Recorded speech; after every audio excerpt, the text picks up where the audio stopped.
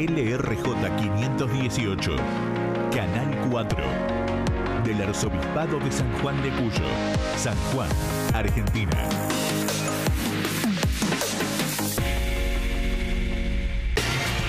La Justa. Política, economía, actualidad, entrevistas, invitados. La Justa. Con Paulo Orlando y Jorge Yáñez. La Justa.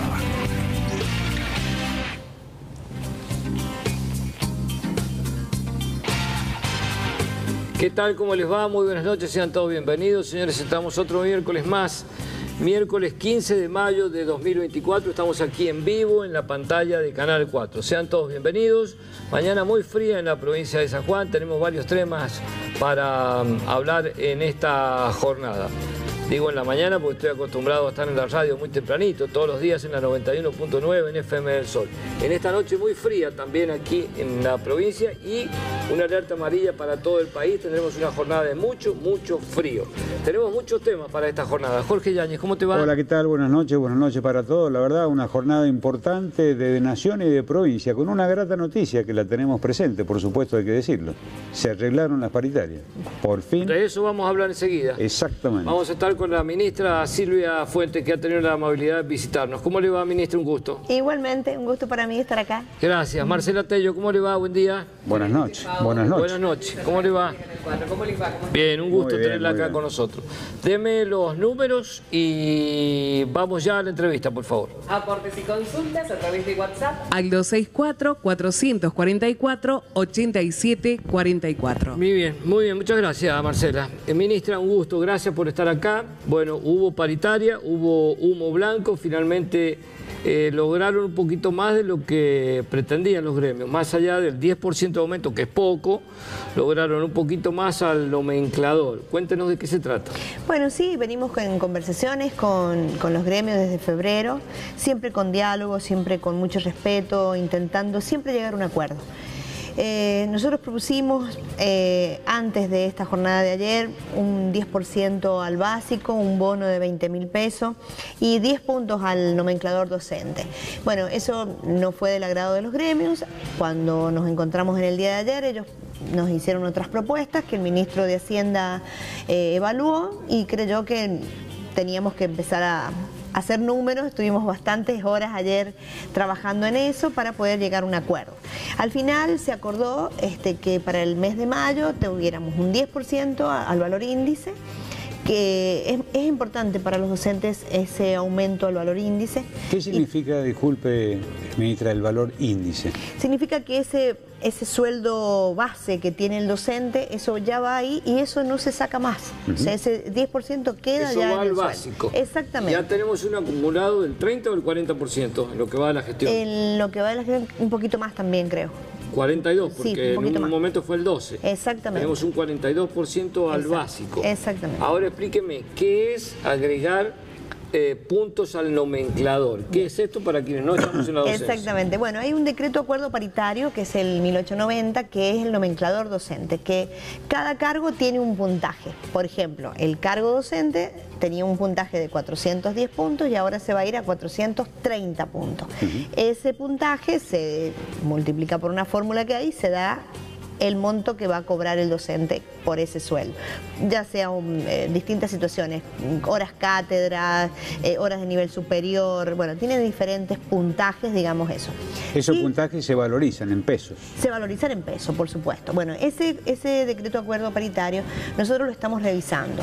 ¿Por qué? Porque en, en el año 2022 se hizo una revisión, pero hubieron cosas que no se contemplaron.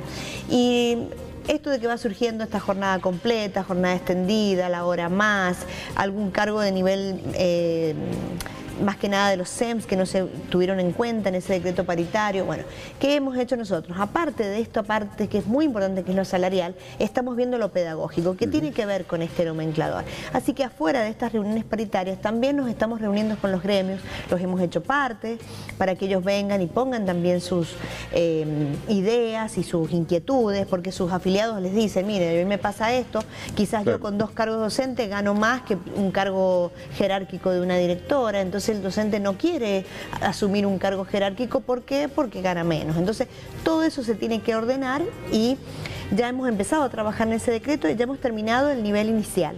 Ahora tenemos que pasar al nivel primario para seguir evaluando caso por caso, docentes de especialidades, em, todo tiene que quedar contemplado ahí porque va a repercutir directamente en el sueldo docente.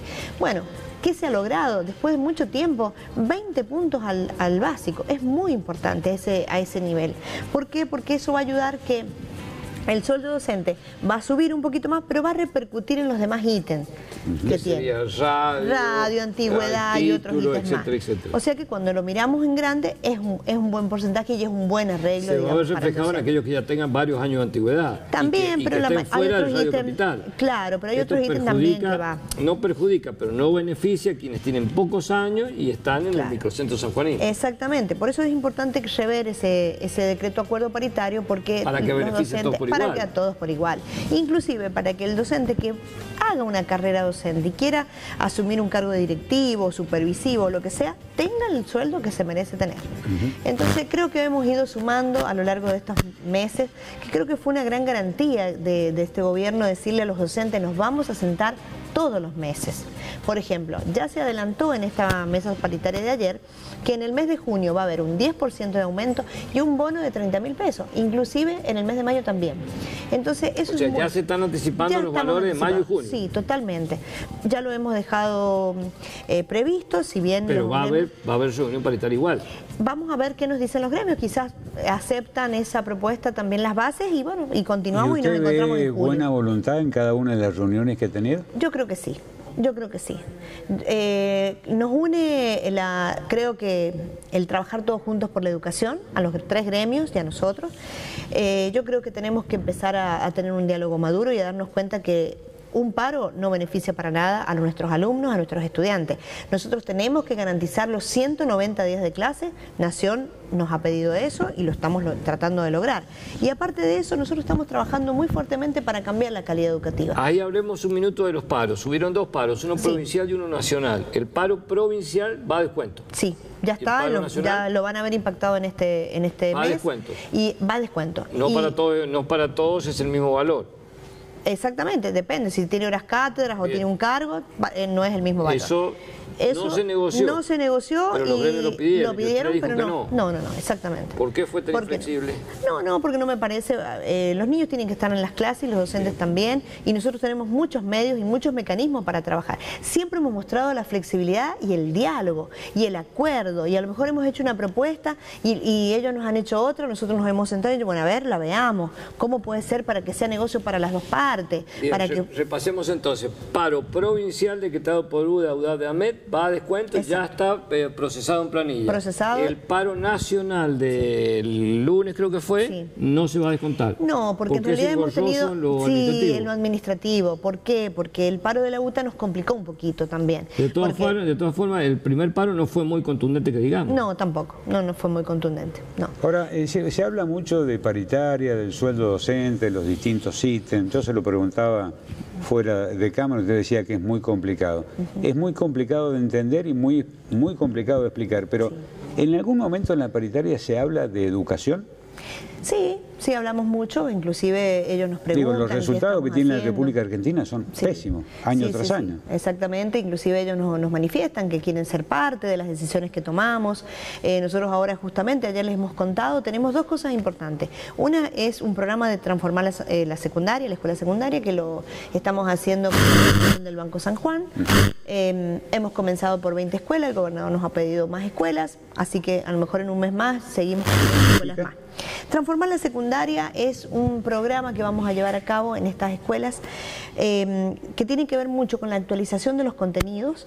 Un- tiene que participar de este programa los directivos y siete docentes que elija la escuela se van a capacitar en matemáticas. Siete por cada, por cada escuela. Siete por cada escuela. Sí. Para hacer una gran comisión Exacto. evaluadora que va a aportar ideas para cambiar la currícula. Nosotros lo que vamos a hacer El contenido. específicamente, el contenido lo vamos lo tenemos que ver nosotros Sí. a nivel Ministerio de Educación el año que viene, que también va a tener que ver con ese transformarse. eh, O sea, vamos a dejar de, digo, A ver, yo que he pasado por la secundaria, se va a dejar de estudiar cosas que al, al niño hoy ya no le importan, Bueno, tonteras una- que en mis tiempos ya eran obsoletas. Sí, vamos a actualizar, actualizar contenido de matemática, de lengua, en los dos ciclos, orientado y en el básico. Eh, vamos a trabajar también alfabetización digital, algo que también necesitamos que nuestros jóvenes se preparen para el futuro. Y vamos a trabajar en Se van a tener comunidades que de actualizar los aprendizaje. docentes en trabajar Claro. con arte- eh, Por eso empezamos con ello, exactamente. Inclusive al terminar esta, estas jornadas que va a llevar más de este año y el año siguiente, porque se sigue con una formación en el lugar con eh, ¿Hay algún antecedente especialistas. Otra provincia que lo haya hecho? Sí, este, la Fundación del Banco San Juan lo están haciendo en otras provincias también y les ha ido muy bien, muy buen resultado. ¿Por qué Fundación Banco San Juan? Porque la Fundación nos ayuda económicamente con los especialistas para poder... Eso ya no me gusta, porque el Banco San Juan es el peor banco, la peor atención que tiene la provincia de San Juan.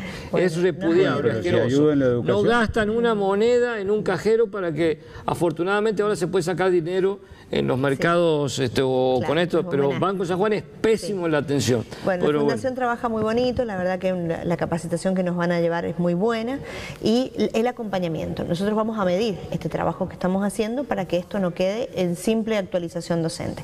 Vamos a medir, vamos a trabajar, vamos a armar comunidades de trabajo, pero lo más importante que vamos a capacitar a los docentes en trabajar en proyectos. ¿Qué significa esto? y conforme al avance de la tecnología. en base a la tecnología, pero el proyecto nos, nos permite que también sea de incentivo del alumno y poder a través de ese proyecto incorporar las diferentes áreas del- de, de la currícula. Entonces, ayuda al niño que habla de una manera integral y que él realmente sea el protagonista de su propio proyecto de vida. En muchas- el contenido de la secundaria. Tengo mensajes de los televidentes. Mensajes del 264-444-8744. Buenas noches, Paolo. Felicitaciones por el programa. La pregunta es para la ministra. ¿Se va a descontar los días de paro? Porque muchos docentes trabajamos y a veces nos vienen el descuento. Soy Graciela de Rawson. Buenas noches, La Justa. ¿Pueden preguntarle a la ministra cuál será el sueldo base de un docente que recién inicia? Gracias. Buenas noches para todos. Como docente debemos resaltar el buen trato y predisposición para el diálogo por parte del gobierno y de la ministra en particular. Soy Andrea de Capital. Bueno, la primera está contestada. Sí se descuenta el primer paro, el provincial, no el nacional. Sí, Eh, no quisiera equivocarme, pero si no me equivoco quedaba en 382 mil pesos eh, el sueldo básico. Básico inicial, con cero antigüedad. Sí, no me quisiera equivocar, eh, pero es así. Y, mm, y para Graciela, bueno, esperemos que no tengamos ningún inconveniente y si tiene un inconveniente inmediatamente estaremos solucionándolo, pero espero que no tengamos ningún inconveniente. En, en muchas provincias se ha hablado mucho de la deserción escolar. Sí. En algunos lugares van a buscar a los chicos que no van a clase, que faltan, que por ahí el padre no está o que están solos. ¿Qué metodología se utiliza en la provincia de San Juan? Nosotros comenzamos eh, a principio de año con un, un curso de actualización también para los directivos, los supervisores y para los eh, docentes más que nada. Que tenemos que ver eso, en crear climas de bienestar que le llamamos nosotros. Eh, y que tiene que ver con toda la escuela, ¿no? Y nosotros una de las cuestiones que se planteaban era esto, si un niño falta tres días de una semana, cuatro días de la otra semana, ¿qué pasa? Tenemos los teléfonos, tenemos la forma de comunicarnos. Ahí hay que activar ¿por qué los gabinetes. Empezamos a activar todo, desde el protocolo, desde el directivo para abajo, Sí. tenemos que ocuparnos. No se puede ir nadie, ningún niño del sistema. Tenemos que ver qué pasa. Si hay migración, bueno, un niño, no, no, se fue a otra escuela, bueno, ya, ya tiene la responsabilidad la otra escuela de, de seguir esa trayectoria. Nosotros estamos trabajando mucho con las trayectorias escolares. Inclusive, a principio de año se puso un dispositivo en el Conectar Lab, eh, que es un lugar muy bonito, que los invito a que lo conozcan, eh, que está por la calle Las Heras antes de llegar al creo que es Cortines, la calle del cementerio. Sí, en la Eh, esquina del cementerio. Exactamente, es un lugar muy, muy bien equipado para que los chicos conozcan, inclusive pueden visitarlo las, las personas que no vayan a través de una escuela. Eh, y ahí los docentes que están en, en esos distintos cursos que tienen y que en el año funcionan, en el verano los pusimos a trabajar específicamente en algo que nos parecía importante. Eh, las- em, apoyar las materias de los chicos que se habían llevado materias en el, en- en el verano. Matemática, lengua, física, química, estuvieron trabajando. Más del 80% de los chicos, que fueron casi 400, aprobaron las materias. Es decir, lo que se utilizan los gratuito. papás, mandaron una profesora privada, el Estado le da esa posibilidad. Exactamente, Exactamente. Y también vamos a trabajar a través de un programa de alfabetización que pronto le vamos a contar, que desde ayer hemos comenzado a censar de manera... em, a través de una muestra vamos a censar 2.000 niños de nuestra provincia de tercer grado, sexto grado y primer año del secundario en fluidez lectora para saber cómo leen, cómo están y a partir de ahí comenzar nuestro programa de Una, alfabetización una provincial. prueba PISA provincial, una evaluación provincial. Ministro, ¿cómo estamos en materia de infraestructura y en materia de insumos? Eh, tengo entendido información que manejo es que el año pasado se han actualizado los sistemas administrativos y ahora los títulos se van a digitalizar y se va a modernizar el tema pero para que las partes administrativas de cada establecimiento necesitan herramientas, necesitan computadora y necesitan impresora y necesitan internet, que muchas veces no lo tienen. Bueno, en eso les quiero contar, nosotros estamos visitando los departamentos, comencé por, por Valle Fértil, he estado por Calingasta, he estado, en este momento la Secretaria de Educación está en Hacha la Iglesia, hemos estado por 25 de mayo, Sarmiento, Angaco, visitando las escuelas. Mientras yo conversaba con los directivos, yo le digo sorpresivamente, pero no para, para nada malo, sorpresivamente porque a mí no me gusta que nadie me espere. Yo entro, ¿cómo está? Entro al grado, ¿cómo está el grado? ¿Cómo está el baño?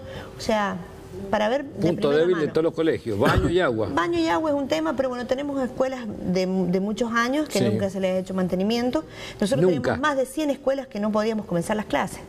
Y eso fue un gran, un gran problema para nosotros. Bueno, en elecciones tuvieron que suspender este lugares de votación porque no estaban en condiciones los establecimientos. Bueno, infraestructura ha puesto casi en casi todas, no todas, en casi todas, porque hay escuelas que están bien, una empresa constructora que está permanentemente ahí esperando que el directivo llame, mire, tengo un problema con el agua. Tengo los directivos deben llamar. Los directivos, sí, sí, sí, inmediatamente, para cortar un poco el proceso. Si fue algo que nos planteamos en el primer momento en la gestión, fue empecemos a cortar esta burocracia. Te llamamos a uno, ese otro, ese al otro, y ese al otro, y ese al otro. El directivo tenía que mandar una nota al ministerio, que el ministerio a obras menores, que al final se pasaba el invierno. Exactamente. ¿Qué es lo que estamos haciendo en estas visitas que hacemos en los departamentos? Va un ¿Pero lo hace usted personalmente? Sí, lo hago yo, lo hago yo. Es más, les cuento, me ponen visita histórica, porque nunca nadie ha visitado, ningún ministro ha visitado las escuelas. ¿Ningún ministro anterior ha visitado una escuela? Habrán ido a los actos, demás, porque yo me ponen visita histórica las escuelas. Valle Fértil he visitado casi todo. Pasado dos o tres tranqueras al medio del campo, ahí hemos llegado a esa escuela. ¿Qué necesitan? Necesitamos esto, esto. A la semana siguiente le hemos llevado lo que necesitaba. Hemos tratado de llegar lo más rápidamente posible. Tengo más mensajes de los televidentes. Buenas noches, mensaje para la ministra. ¿Cuándo van a actualizar marcos de referencia de la Escuela de Capacitación Laboral? Faltan equipamientos para los talleres y formación continua a docentes de las escuelas de capacitación laboral. Necesitamos que tengan importancia en nuestra sociedad, ya que forman en oficio importante para los alumnos que tengan emprendimientos. Ministra, averigua en la escuela Hipólito Urigoyen turno tarde, el portero Pepe limpia solo la escuela mientras las dos compañeras de la primaria están tomando mate. Disculpe y gracias. Mandaron al frente. lo mandaron al frente a las dos. Muchísimas gracias, pero ¿sabe qué? Esto es algo muy bueno que está pasando. Vienen a, a nuestra oficina y nos dicen, miren, tal persona no va a trabajar, tal persona tiene... Y nos viene muy bien porque inmediatamente salimos a través de los supervisores, a través de los directores de área, inmediatamente nos vamos a la escuela a ver qué está pasando. ¿No está faltando gente en los sistemas administrativos de los colegios?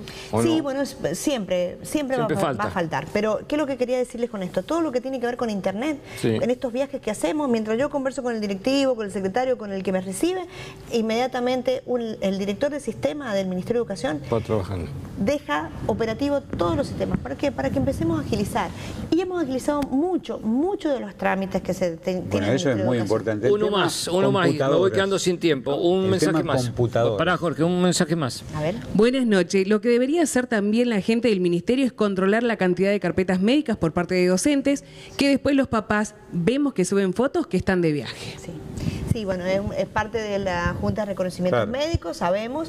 Es verdad, el, Facebook y las demás aplicaciones eh, a veces pasan esas cosas, pero inmediatamente estamos actuando. Eh, cuando nos dicen, llamamos directamente a la Junta de Reconocimiento. Había una versión que faltaban computadoras, de las muchas que se enviaron en otra época, que no llegaron a San Juan, o que no se sabe dónde están, o qué pasó. Sí, más de 14.000 es el número que nos han pasado. 14.000. Sí, este, pero bueno, Nación... ¿Cómo se perdieron 14.000 computadoras? Eh, Nunca llegaron, se perdieron. Exactamente, diciembre la estamos reclamando, no han llegado. Vamos de nuevo, se han perdido en San Juan 14.000 computadoras. No, nunca llegaron. No, llegaron nunca. No llegaron nunca. No, no, no. Ah, una plata importante. La hemos reclamado, la hemos reclamado y estamos esperando. Un mensaje más, ha despertado, ha despertado mucha expectativa su presencia aquí en la pantalla de Canal 4, estamos en vivo. Buenas noches, excelente el programa de la ministra de Educación. ¿Por qué no se respete el estatuto docente con respecto al concurso de ascenso? Han pasado seis años, hay docentes que han aprobado el concurso esperando que puedan elegir los cargos vacantes que hay. Queremos una solución urgente porque nuestro derecho adquirido de rendir y aprobar. Sí, sí, tienen mucha razón y estamos trabajando para ver si podemos agilizar ese proceso, que muchas veces tienen trabas para poderse continuar, porque muchas veces hay docentes que impugnan los actos y de situaciones que, bueno, quedan eh, en manos de la justicia hasta que se puedan volver a seguir. Pero sí queremos retomar este año con la Secretaría de Educación esos... esos Señorita, el niño Suizer me está diciendo que tengo que cortar. Qué lástima, Qué no lástima, todo lo que me más queda me mucho- queda ¿Sabe por qué? comer. Me La- queda, la última me queda una, me queda una pregunta. Tengo una buena y una mala. A ver, La buena que yo tengo, me han contado desde el correo de las nietas de las brujas que fundaron Lucho Román, que vuelve el desfile. sí, claro vuelve que el sí, desfile. claro que sí. La mala es no vaya a hacer ir a los chicos a las 8 de la mañana y el desfile empiece a las no, 2. No, no, no, no. No, y se lo digo también a las docentes, voy a, voy a desfilar con ellos. Eh, la verdad Ah, que bueno. no. No, la verdad que no. Eh, vamos a citar a los chicos 11 y media de la mañana para que las 12 en punto comience el, el desfile. Vamos de Muy nuevo. bien. Hay desfiles, vuelve el desfile después de la desfile. pandemia. ¿En. Capital? En Capital, en la calle Alén y, Central vamos a, a citar a los pequeños y a las 12 en punto empieza el Vuelve el desfile cívico-militar. 25 de mayo, eh, después del Tedeum será el desfile cívico-militar con presencia de los alumnos que serán citados a las 11 de la mañana, 11 y media. 11 y media para empezar a las 12. puntuales, acá puntuales. La historia sabemos. cuenta, y lo hemos vivido, que citaban a los chicos a las 8 de la Sí, mañana sí, y se sí, descomponían de frío. Pero los que me conocen de Santa Lucía saben que soy puntual y que no me gusta que... Bien. No es un, es un acto que yo... Esto es un anticipo. Ah, Es un anticipo, es un acto que yo no lo, no lo hago No, no, sola, no, lo hace el gobierno, Exactamente, gobierno, pero, claro. pero es algo que siempre nos pide el gobernador que no hagamos esperar a los chicos, lo haga así que estoy segura La que- que va a ser última, así. en su puntuación como docente, ¿cómo está la educación? Ay, qué pregunta. Yo, yo como docente tengo mucha esperanza que vamos a, a empezar a caminar. Eh, hay muchos docentes que nos están acompañando. Yo voy a ser buena, voy a poner un 8. Acuérdense que las maestras jardineras no ponemos nota. Está bien. Así que voy a poner un 8. Yo creo que está muy bien. Bueno. Último mensaje de Marcela. Hola, los padres del Colegio Marco Zapata y Niño Jesús de Villa Krause pedimos, rogamos a los docentes que en horas de clase no estén con el celular, los docentes estos. Pasa que todos los días se la enseño la ministra de Educación que ponga límites con los teléfonos en horario de clases, por favor. Sí, bueno, es un pedido a toda la docencia que nos ayuden con ese tema. Sabemos que es delicado y bueno, hay que tratar de, de ser responsable en el trabajo que tenemos. Bien. Ministra, un gusto. Muchas Siempre muy gracias. amable para con Canal del 4, para con FM del Sol. Gracias por estar acá, muy amable. A ustedes. ha traído buenas gracias. noticias. Bueno, muchas gracias. Muchas gracias. Todos los ministros tienen buenas noticias. Es cuestión de darlas a conocer nada más. Buenísimo. Muy amable, Cuenten muchas conmigo. gracias. Muchas gracias. pausa, ya venimos. Tenemos los invitados que han venido tempranito. Ya venimos en el próximo bloque, el intendente de Rivadavia, Sergio Miodowski, que ya está con nosotros. La justa. Política, economía, actualidad, entrevistas, invitados. La justa. Con Paulo Orlando y Jorge Yáñez. La justa. Asociación de Magisterio de Enseñanza Técnica AMET informa. Mejoramos nuestro servicio de coseguro para nuestros afiliados. La autorización de prestación médica podrá realizarse en línea. Les recordamos que se mantiene en vigencia el convenio con el Colegio Farmacéutico y Asociación Propietarios de Farmacias. El renovado coseguro tiene cobertura en prácticas de alta complejidad, internaciones, prácticas ambulatorias de alta complejidad, prestadores institucionales con mayor cantidad de clínicas y sanatorios adheridos. El coseguro es sin carencia para el titular y su grupo familiar. Para informes y afiliaciones, en sede AMED, Avenida Alén 368 Sur, teléfono 421 7673. Del 21 al 23 de mayo llega la décima edición de la Expo San Juan Minera, el evento más federal de la minería argentina. Delegaciones de todo el mundo y los máximos líderes de la industria minera juntos para impulsar el crecimiento en San Juan. Conoce más en exposanjuan.com.ar. La minería que mueve al mundo está en nuestra tierra. Organiza Panorama Minero. Invita San Juan Gobierno. City, calzado urbano. Las marcas tendencia. Feel good, casual, no end. Seguinos en Instagram Urban City, guion bajo San Juan. City, calzado urbano. Showroom, calle Santa Fe Este 63, Capital.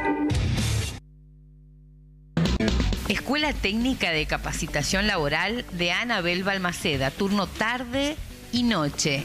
Le ofrece cursos en textil e indumentaria, gastronomía, artes industriales, gestión administrativa, operador de computadoras, electricidad domiciliaria e industrial, entre otros. Avenida España y Boulevard Sarmiento, parroquia de Villa Krause. Teléfono 424-1505. Te presentamos los estrenos de la semana en Play Cinema. Monkey Man, Tarot de la Muerte, Amigos Imaginarios. En cartelera, Desafiantes, El Planeta de los Simios, Nuevo Reino, Garfield, Fuera de Casa, La Primera Profecía, Kung Fu Panda 4, Play Cinema, en Patio Alvear Shopping.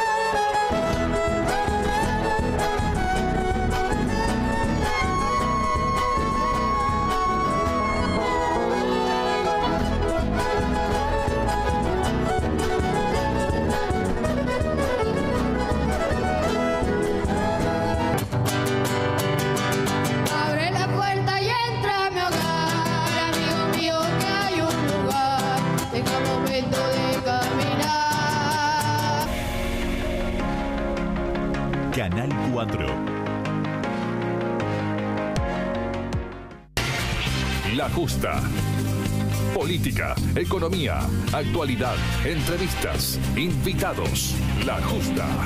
Con Paulo Orlando y Jorge Yáñez. La Justa.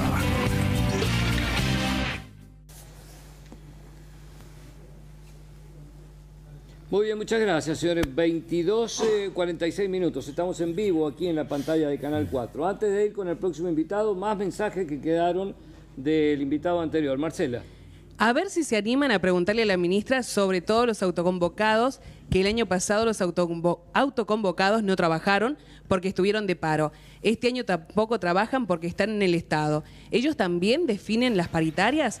Por lo visto no se animaron a preguntarle. Así son de caraduras. Por una pauta venden a sus madres. Bueno, si me llama Caradura por estar en vivo, son las 22, eh, 47 minutos. Y si escuchó, se lo preguntamos a la ministra. ¿Eh? Le preguntamos sobre los descuentos, le preguntamos sobre los autoconvocados. Si aún así nos llama Caradura, 22, 47 minutos. Estamos en vivo y sí nos hemos animado a preguntarle. ¿eh? Lo que usted no se anima, Caradura que manda un mensaje, es a dar su nombre. Yo sí, me animo a dar la cara y el nombre.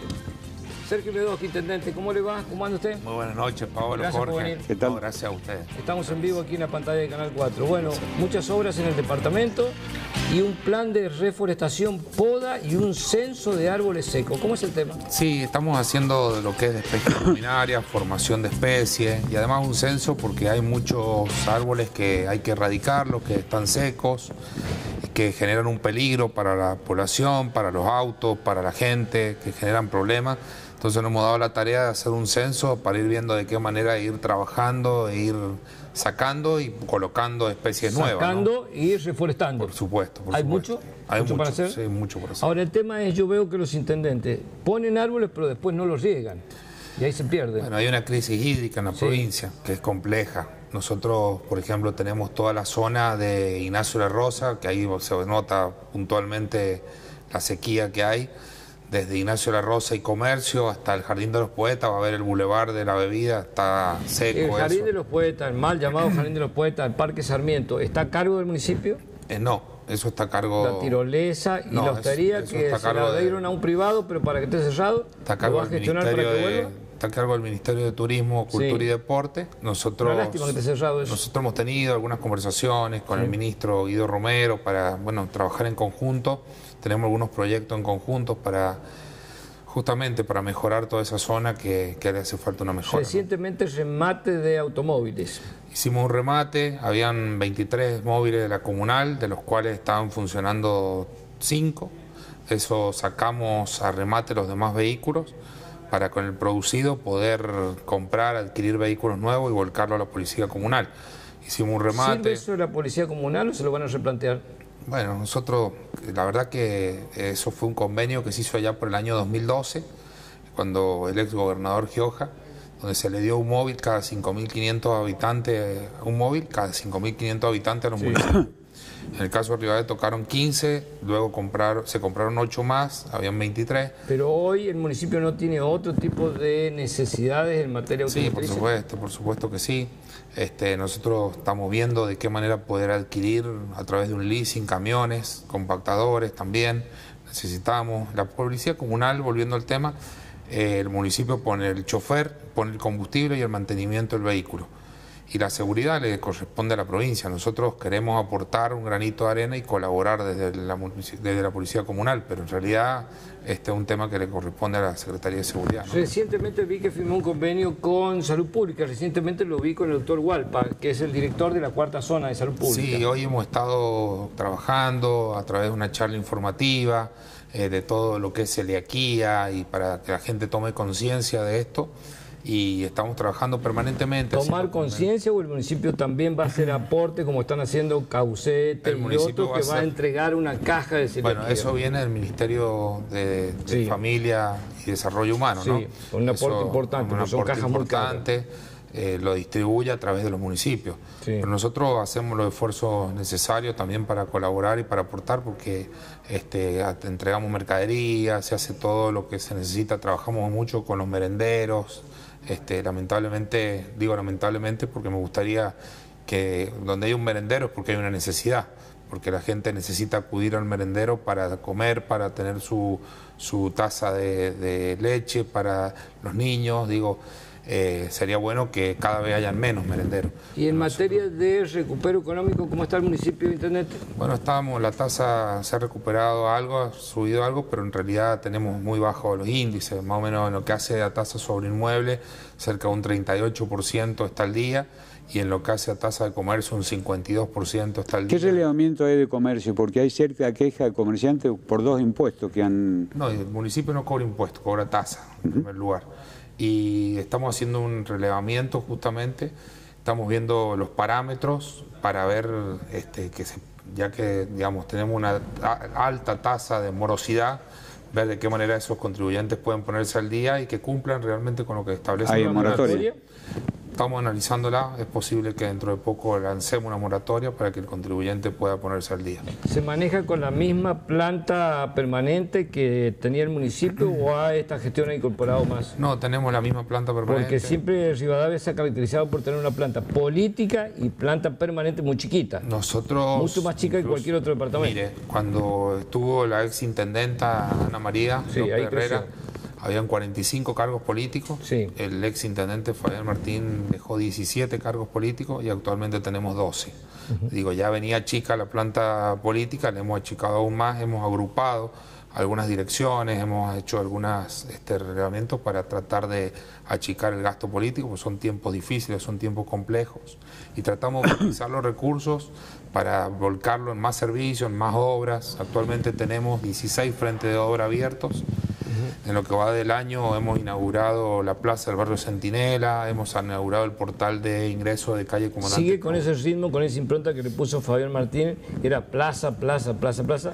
Nosotros estamos trabajando en lo que hace algunas plazas, sí.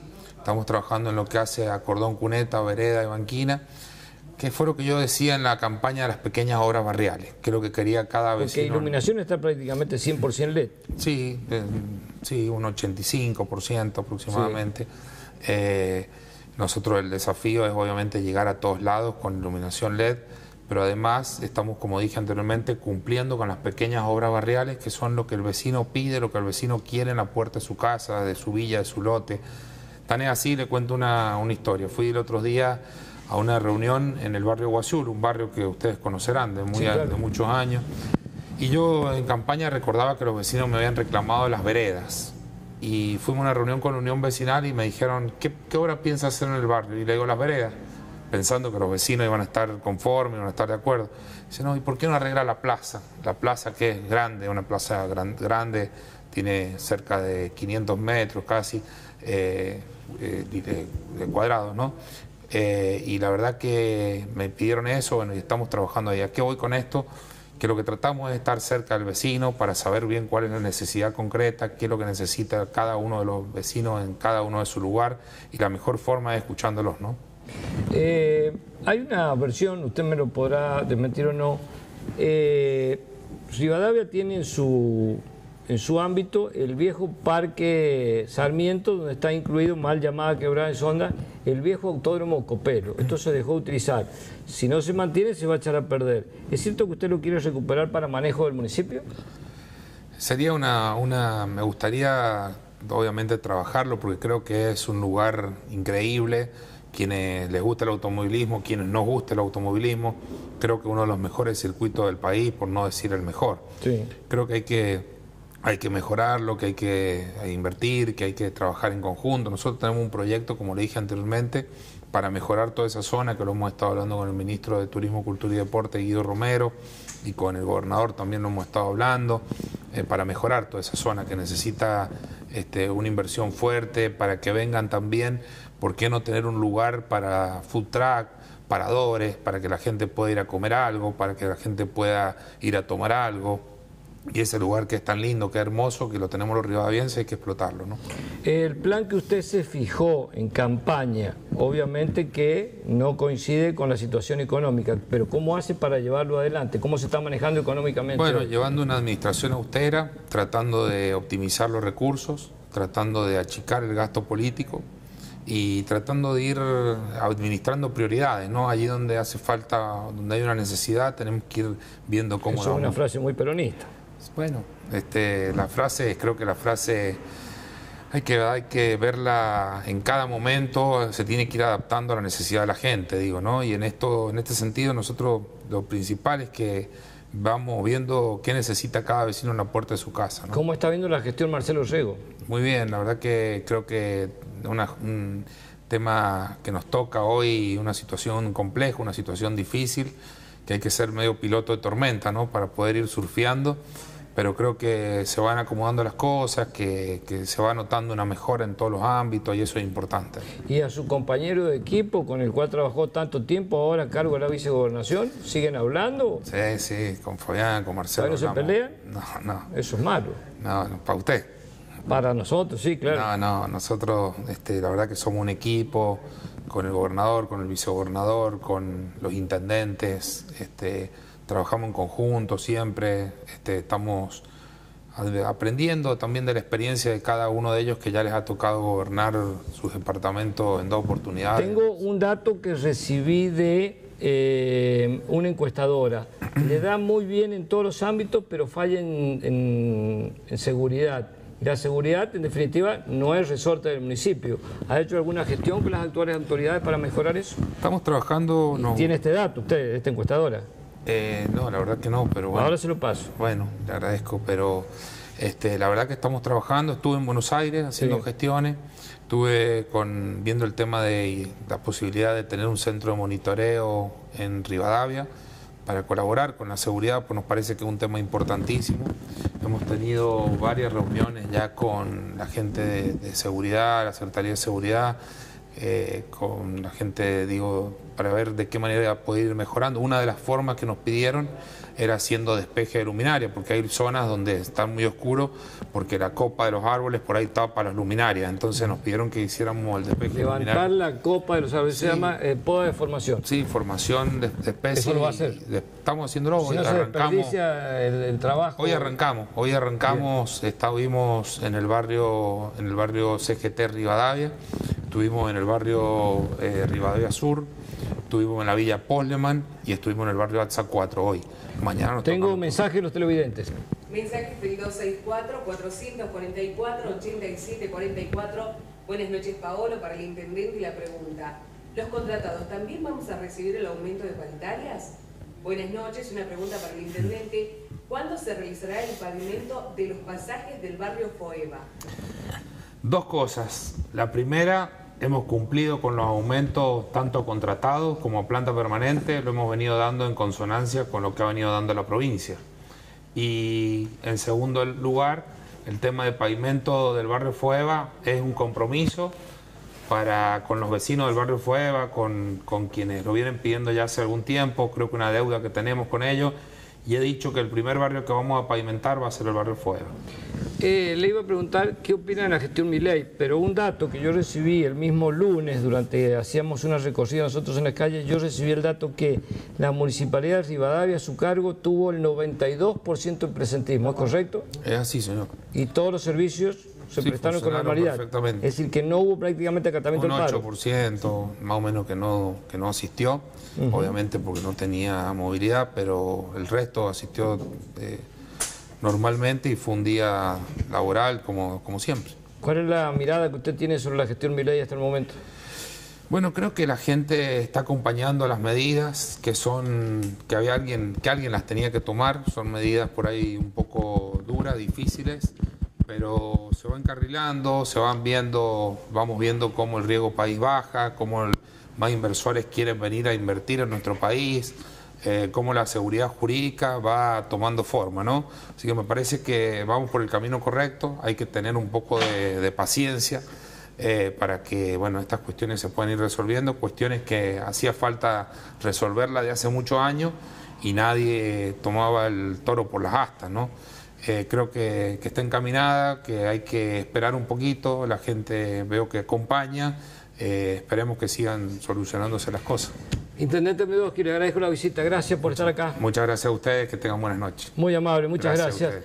Señores, ¿tenemos mensajes? Mensajes del 264-444-8744, las buenas noches. No sé si le corresponde, pero le quiero preguntar, en el Club de la Bebida no hay baños. Voy a ¿Cuál ver a jugar será? a mi nieta y no Club tenemos Deportivo baños. Club Deportivo Rivadavia. Debe ser porque es el único club. La bebida, dice. ¿Quiere saber si le corresponde al municipio o no? no, si es un club, no. Al club le corresponde. Pero ayuda. Nosotros ayudamos a todas las instituciones, trabajamos en conjunto, este, estamos trabajando permanentemente con las fuerzas vivas del departamento, con los centros jubilados, con las uniones vecinales, con los clubes.